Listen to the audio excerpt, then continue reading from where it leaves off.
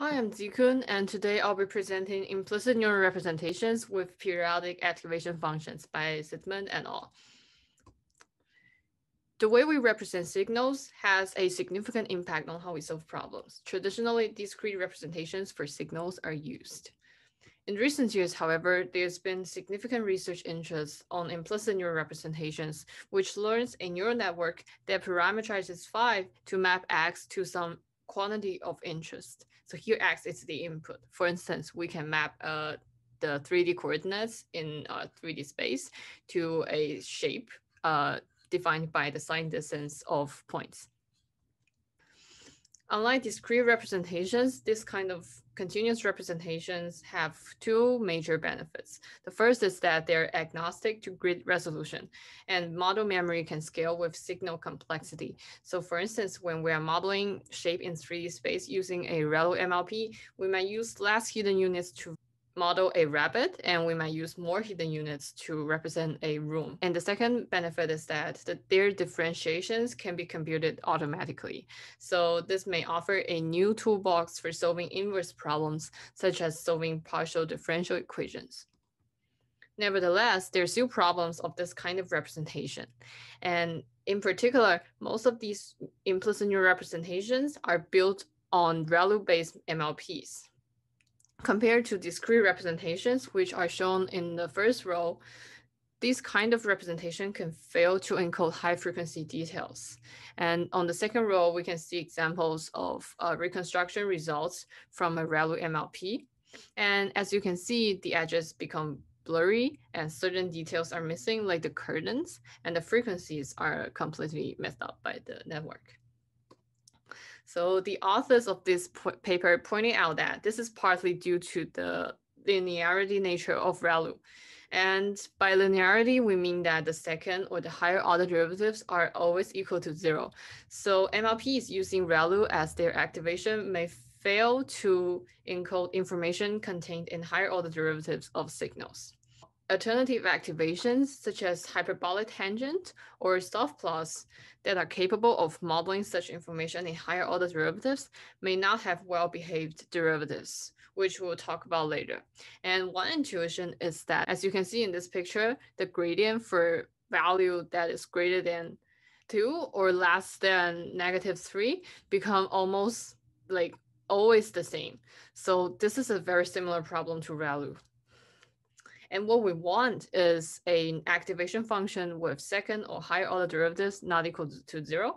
And we want them to have, we wanted to have tractable derivative behaviors. So we don't want like disappearing derivatives or exploding ones.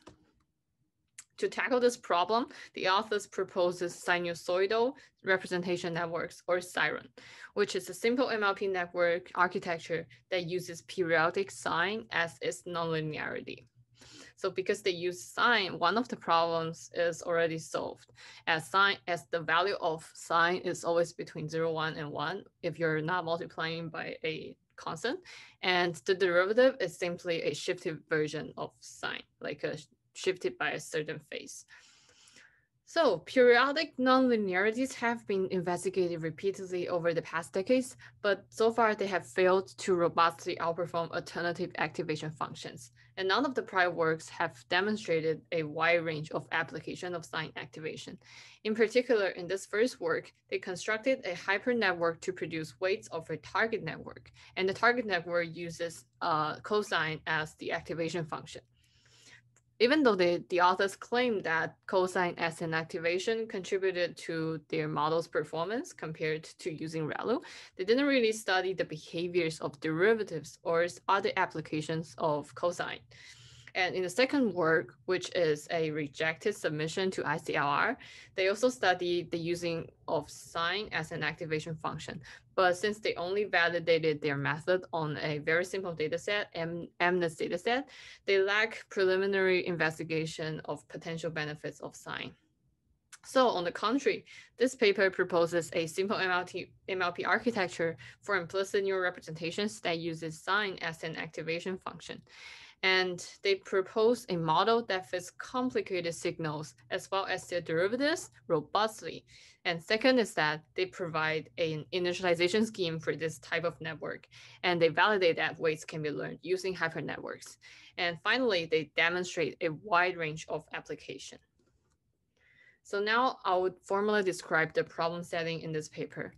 In this paper, we want to find a class of functions phi that satisfies the relation f on the continuous domain of x.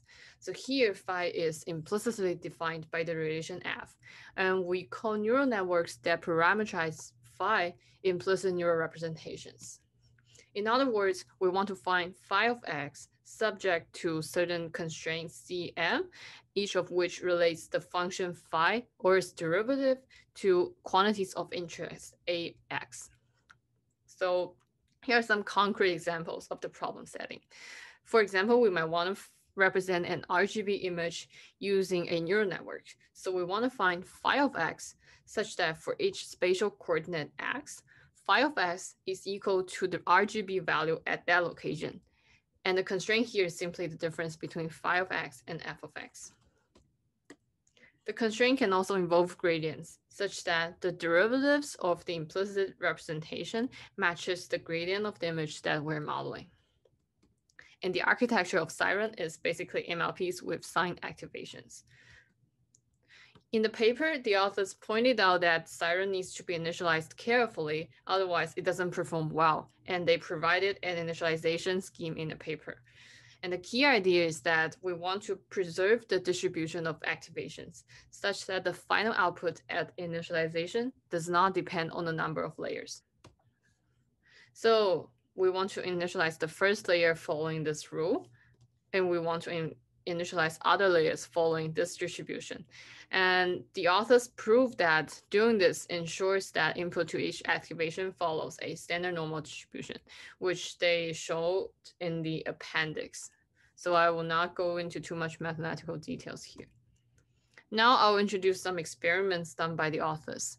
Starting with natural signals, such as images, they first fit siren supervised by the image defined on pixel coordinates. And here, phi minimizes the discrepancy between file facts and the ground truth ReLU. A comparison is made between different non-linearities, including value with positional encoding, as mentioned in NeRF paper. So here, only siren achieves significantly better PSNR. And it also faithfully reproduces this first and the second derivative of the image, and all the other activations failed uh, for the Laplacian. And here we are showing the results for video reconstruction. And Siren maps a time pixel coordinate to an RGB value at that time, and is directly supervised by the ground truth pixel values. It fits the fine details significantly better than a ReLU MLP. Next, we are showing results for audio reconstruction, and in which the map the network maps the time point t to an amplitude supervised the ground truth amplitude. Siren is the only architecture to recover the audio, as shown here. Next, we're solving Poisson equation with Siren. Instead of the output of, of the network, the gradient or Laplacian of the network is supervised. Only the Siren reconstructs the images much more correctly than all the other approaches using the gradient. So as you can see here in the quantitative results, and it's also the only one that fits the Laplacian well, as shown here.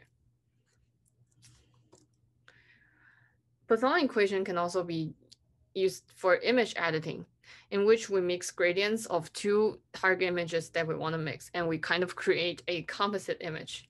So here we supervise our network with mixed gradient of the source implicit representation we want to mix.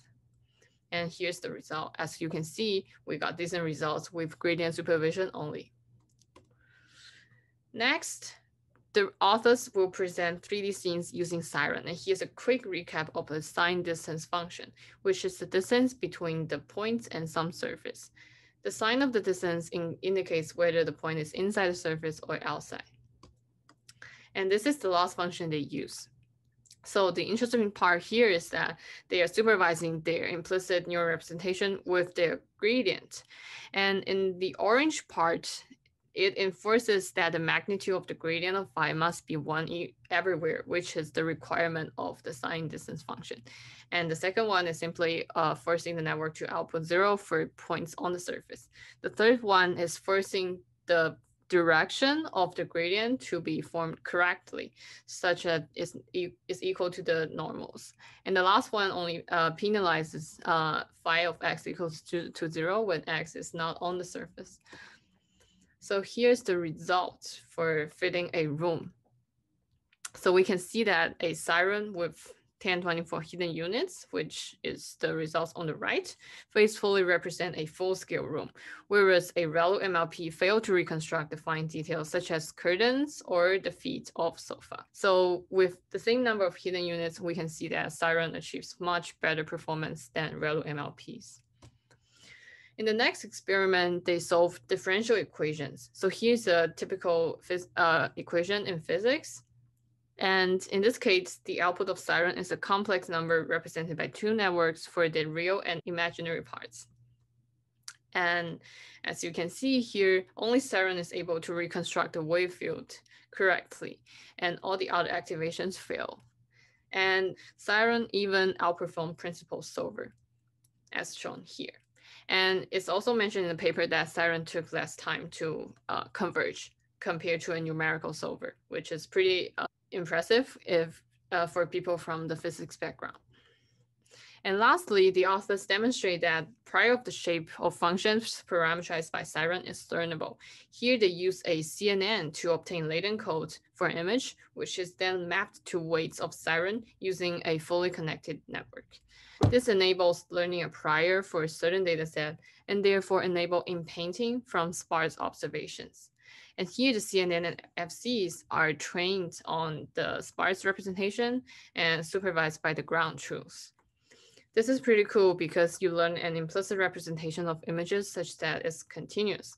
So this is unlike in painting directly using CNNs, in which you have like fixed resolutions for output. In this one, you can have like any resolution you want as you'll be mapping coordinates to their values at that location. So obviously this work is not perfect and here's some limitations that I noticed. The first one is that Poisson image editing is nothing new because it simply mixing ingredients. And I think one thing they could have done is to compare their method to traditional CV te technique, or they could simply not include that because I think that's taking a, taking too much space in the paper. And the second is that they didn't give a formal definition of well-behaved, but this is also apparently a very important property of sine activation, and they could have included some proper mathematical definition of this property. The third one is that Siren initialized improperly could have bad performance, as mentioned in the paper, but they didn't really link this back to the key idea in their initialization scheme. So one thing I think they could have done, at least for the maybe include that in the appendix, would be to do an ablation study to show results of Siren not initialized properly. For instance, just randomly initialize them and see how bad they can be. And I feel like this will pro provide some insights into how sirens need to be initialized. And I would imagine if you are applying sine as activation to more complicated network instead of a simple MLP with five layers, you might need to initialize siren differently. And this is uh, a, a very interesting future work direction. And lastly, I wonder if their method to initialize Siren is indeed that novel, because I noticed that PyTorch or TensorFlow also follows a similar default initialization scheme, except, except that it depends on output dimensions. So this is a quick recap of contributions. And that's it for my presentation. Thanks for listening.